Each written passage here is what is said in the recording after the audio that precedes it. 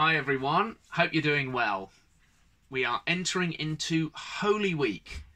That's Palm Sunday when we celebrate Jesus' triumphal entry into Jerusalem, and then through Holy Week, the last week of his earthly life, heading to the cross on Good Friday, and then the glorious resurrection Easter Sunday. So it's the it's the most important week of the church's year, and we've got a special really a fabulous service plan for Sunday, a walk through Palm Sunday Holy Week experience that would be will be brilliant, great to bring friends to, and uh, will be great for all ages.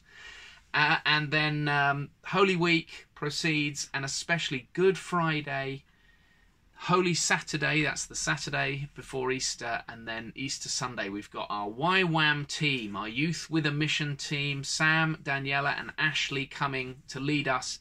It's going to be a terrific weekend.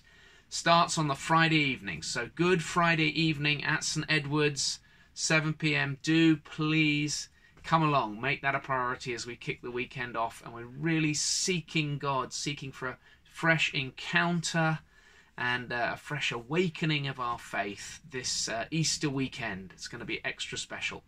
Uh, and then we're just looking forward to the big church day out, half term next term, uh, the beginning of June. Do book in. We're up to 97 in our group.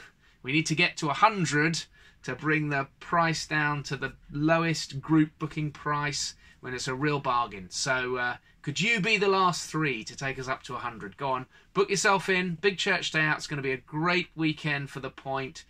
Building church family relationships, enjoying worship, encountering God. It's going to be terrific. So, book yourself in. Go for it. Okay, see you Sunday.